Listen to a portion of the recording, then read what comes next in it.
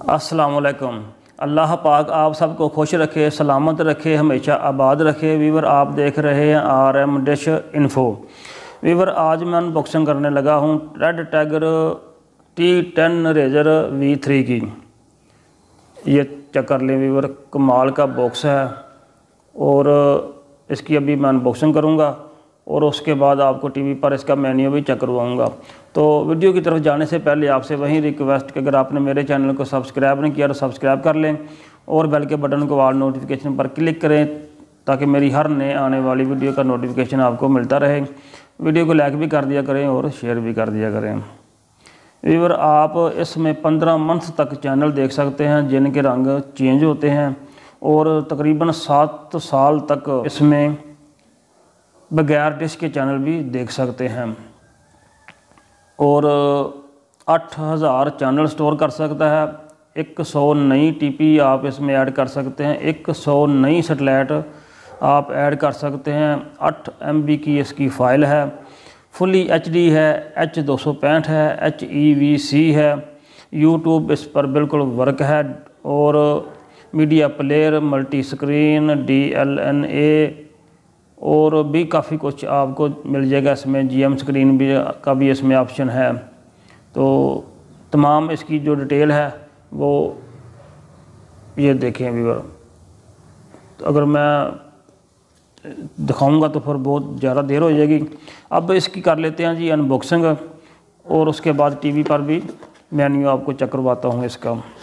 यहाँ से इसकी पैकिंग बहुत ज़बरदस्त है डबल पैकिंग है कि आपने पहले इसके ऊपर से ये कवर उठा हटा लेना है। उसके बाद ये आपको ब्लैक नज़र आएगा, नीचे पैकिंग इसके ऊपर सबसे ये बॉक्स मिलेगा। और बॉक्स बहुत अच्छा है। पहले बॉक्स में आपको चकरवा देता हूँ। ये देखें व्यूवर ये इसका बॉक्स है। इसके ऊपर भी नाम मेंशन है। ये सामने वाली साइड है और इसी तरह ये नीचे वाली साइड है। कार्ड का भी इसमें ऑप्शन है। कार्ड भी आप यूज़ कर सकते हैं। ये देखें वीवर नीचे, कार्ड भी कर सकते हैं। आपने इसको कैसे इस्तेमाल करना है वो मैं दिखा देता हूँ। यहाँ आपने डिश की तार लगानी है और डेस्क स्विच की। यूएसबी आपने इधर लगानी है। एच डी एम में लीड लगानी है। ऑडियो वीडियो की तार लगानी है अगर आपके पास पुराने वाला टीवी है। पावर सप्लाई जो इसके साथ अडाप्टर है, वो आपने इधर लगाना है। ये आईआर सेंसर है, क्योंकि ये बिल्टन वाईफाई है तो इसके लिए इसकी एक पोर्ट बंद की हुई है। आर एस दो सौ बत्ती का भी इसमें ऑप्शन है, वो आपने इधर लगानी है। बहुत ही प्यारा रिसीवर है बाई करना हो किसी ने तो मेरा नंबर आपको स्क्रीन पर मिल जाएगा। अब हम देख लेते हैं कि इसमें एसेसरी कौन सी हैं। तो जैसे ही मैं इसके ऊपर से ये वाला कवर हटाऊँगा तो रिमोट मिलेगा साथ आपको। ये चेक कर लें वीवर और रिमोट के लिए सेल भी आपको मिलेंगे साथ। रिसीवर को पावर सप्लाई देने के लिए ये इसका अडाप्टर है, बहुत ही अच्छा है। ये भी साथ मिलेगा आपको। H D M I lead भी है आपके साथ मिलेगी। अगर बड़ी भी लेना चाहें तो वो भी मिल जाएगी, अच्छी क्वालिटी की भी मिल जाएगी। और ये इसका आई आर सेंसर है, ये भी आपको साथ मिलेगा। अगर आप चाहते हैं कि हम अपने रिसीवर को किसी दीवार के साथ लगाना चाहें तो उसके लिए भी ये ब्रैकेट है। आपने दो खड़पेच लगाने हैं तो दीवार के साथ इसको लगा सकते हैं। और अपनी एलईडी के साथ अगर रिसीवर को लगाना चाहें तो ये टेप है, दोनों तरफ़ से जुड़ जाएगी। ये भी आप इस्तेमाल कर सकते हैं, लगा सकते हैं।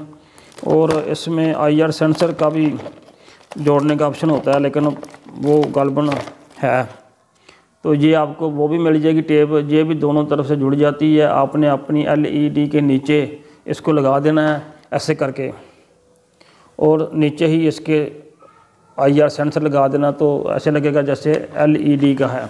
तो ये वीडियो थी, अब चलते हैं टीवी की तरफ़।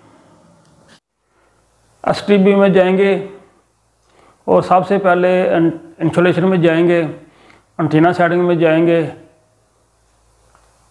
तो यहाँ से आप कोई भी नई सेटेलाइट कैसे ऐड कर सकते हैं, उसके लिए आपने अपने रिमोट से ग्रीन का बटन प्रेस करना है।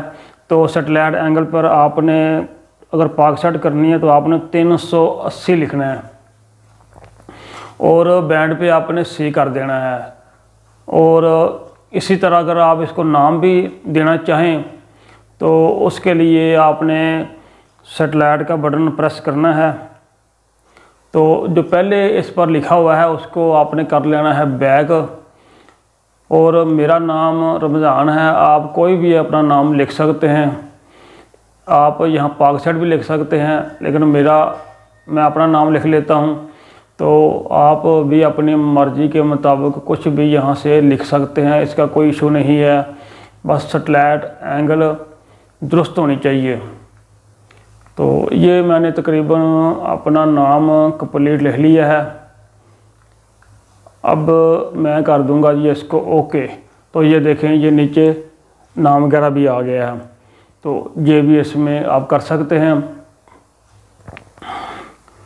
और सिग्नल जूम का इसमें ऑप्शन नहीं है।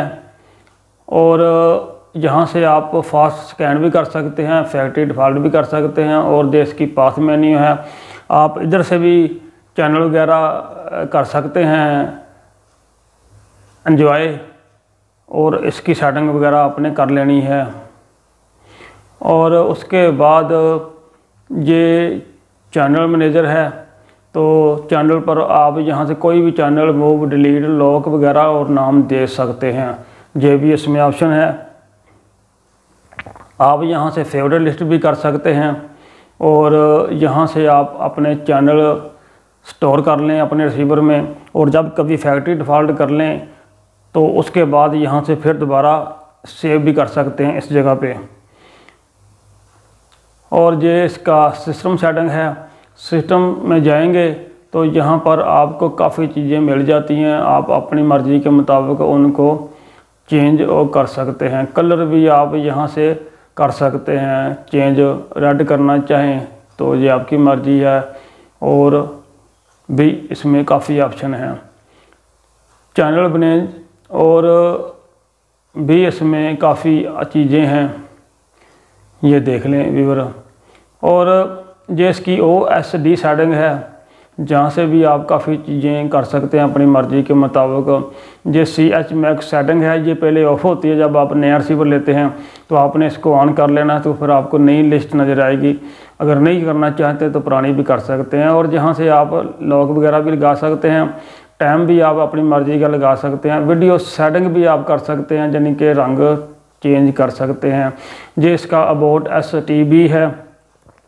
देख लें और ये एक्सपेंशन है। सबसे पहले यूएसबी मिल जाती है, जहाँ से आप कोई भी मूवी वगैरह गाने सुन सकते हैं और रिकॉर्डिंग भी कर सकते हैं।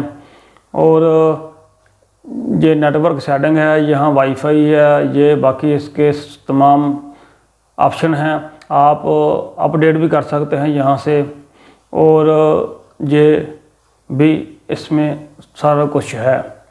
और नेटवर्क एप्लीकेशन ओपन नहीं होंगी, क्योंकि मैंने इसको नेट नहीं दिया। तो काफ़ी अच्छा बॉक्स है, काफ़ी अच्छा बॉक्स है।